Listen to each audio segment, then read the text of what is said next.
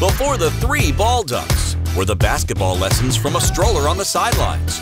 Before the three rings was the son of a star just waiting to fulfill his destiny.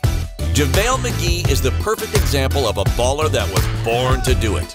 And this is his story.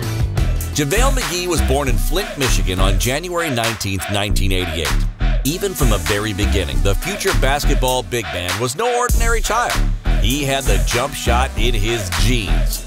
JaVale's mother is none other than former WNBA star and Olympic gold medalist Pamela McGee. Added the fact that Big Daddy Wookie's biological daddy was a 6'10 forward and was drafted by the Portland Trailblazers in 1985, it's clear that JaVale McGee was born with baller blood running through his veins.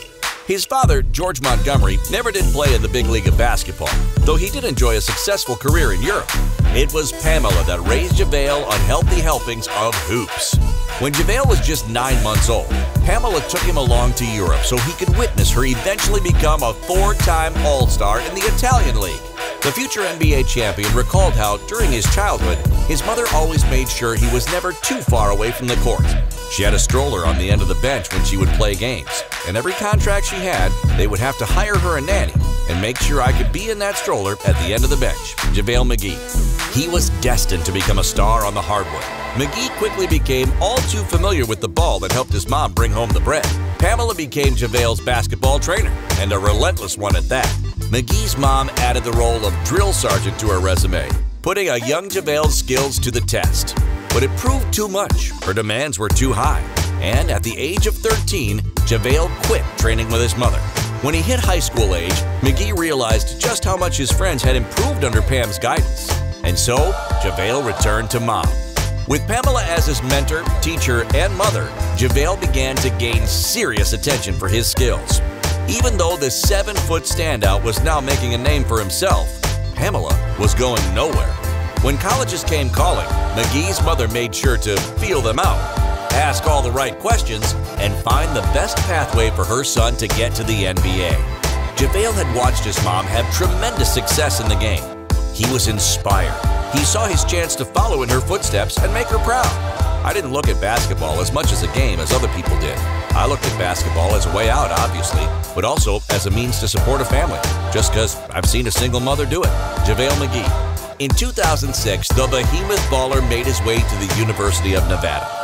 JaVale quickly settled into his groove and averaged 14 points and 7 rebounds for his sophomore year.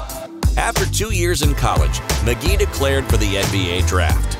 The Washington Wizards selected him with the 18th pick, and JaVale McGee became the first son of a WNBA player to play in the NBA.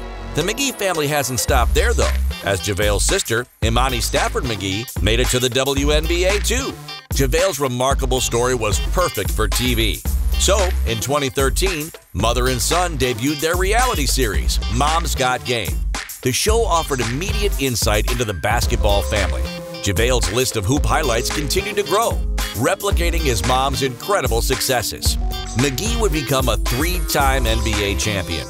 And in 2020, he grabbed himself the very same accolade that Pamela once did, an Olympic gold medal. The bona fide basketball star now gives back to the city that made him, facing Flint's water crisis head on. McGee's Jug Life Foundation raises awareness on the benefits of proper hydration and plays its part in ensuring that people have access to clean drinking water. With JaVale's hydro heroics in mind, he remembers how it all started, and he remains grateful for everything that his mother taught him. I grew up in poverty, but I didn't have a bad childhood at all. She definitely led me the right way. JaVale McGee. Following in his mother's footsteps has led JaVale McGee to greatness. But with Pamela being a Hall of Famer, Big Daddy Wookie still has some ticking off to do on his checklist. Whatever happens, we can be sure that the Phoenix Suns sensation will continue to give basketball fans highlights to hold dear, give the world clean water, and give his mother even more reasons to be proud of her son.